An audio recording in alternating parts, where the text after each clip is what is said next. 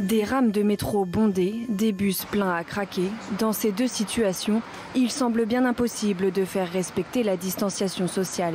Alors, au moment du déconfinement, comment conserver les gestes barrières? La maire de Paris y réfléchit et envisage de rendre le port du masque obligatoire.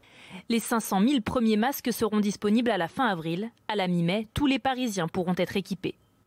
À la SNCF, la direction de la compagnie ferroviaire est elle aussi favorable à cette mesure. Dans une lettre ouverte, plusieurs opérateurs de transport en commun se rejoignent. Nous confirmons tout l'intérêt d'une obligation réglementaire du port de masque dans les transports publics pour tous les passagers. Ils vont même encore plus loin avec cette proposition. L'absence de masque devrait exposer à une amende dissuasive.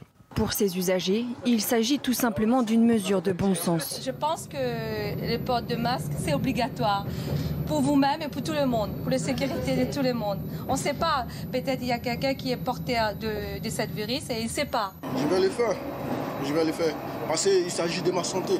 En temps normal, dans la région Île-de-France, 5 millions de personnes empruntent quotidiennement les transports en commun.